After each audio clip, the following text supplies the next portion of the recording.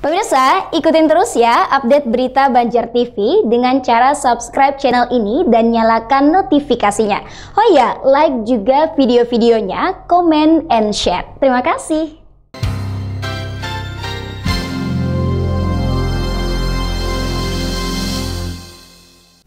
Selain itu, Ikatan Guru Taman Kanak-Kanak Indonesia Kota Banjarmasin juga menggelar peringatan Maulid Nabi besar Muhammad SAW 1441 Hijriah sebagai refleksi meningkatkan semangat pengabdian menuju guru TK yang profesional dan berakhlakul karimah.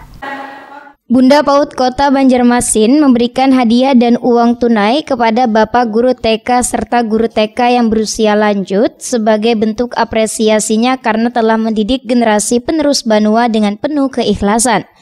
Ini terlihat dalam kegiatan peringatan Maulid Nabi besar Muhammad SAW 1441 Hijriah yang digelar Ikatan Guru Taman Kanak-kanak Indonesia Kota Banjarmasin yang digelar di Masjid Jami Sungai Jinga Banjarmasin. Kegiatan yang dihadiri ratusan guru TK sekota Banjarmasin ini sekaligus sebagai wadah ajang silaturahmi yang juga diharapkan sebagai refleksi Maulid Nabi Muhammad SAW, meningkatkan semangat pengabdian menuju guru TK yang profesional dan berakhlakul karimah. DKI Kota Banjarmasin melaksanakan acara Maulid Nabi besar Muhammad SAW. Ya. Dihadiri siapa aja nih Bu?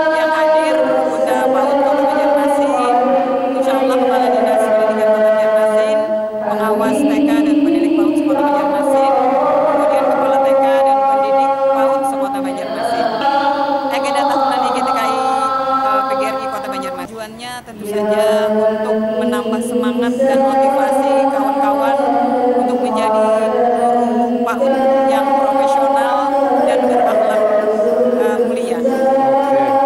Saat ini ada 1.226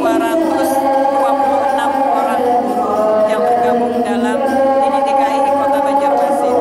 Harapannya dengan peringatan Maulid ini ya, khususnya bagi para guru ini apa Bu? Harapannya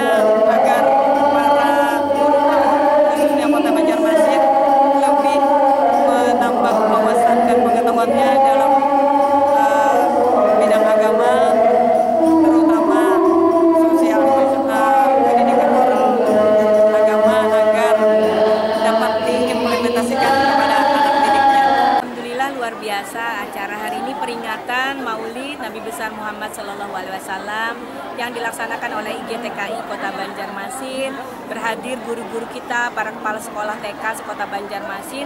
Nah tentu saja kita berharap sesuai dengan tema dari peringatan Maulid hari ini agar semuanya melalui meneladani Rasulullah akan mendorong untuk guru-guru kita semuanya meningkatkan profesionalismenya menjadi guru-guru yang berakhlakul karimah. Ini sesuatu yang perlu kita dukung bersama dan mudah-mudahan nilai-nilai yang sudah disampaikan oleh penceramah bisa diteruskan oleh para guru untuk kemudian membangun suasana pendidikan taman kanak-kanak kita lebih baik.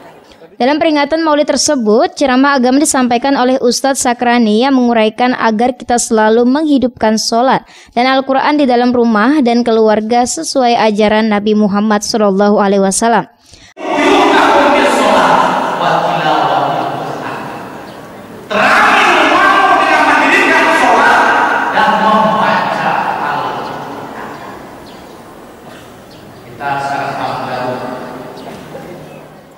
Rizal Afandi, Banjar TV.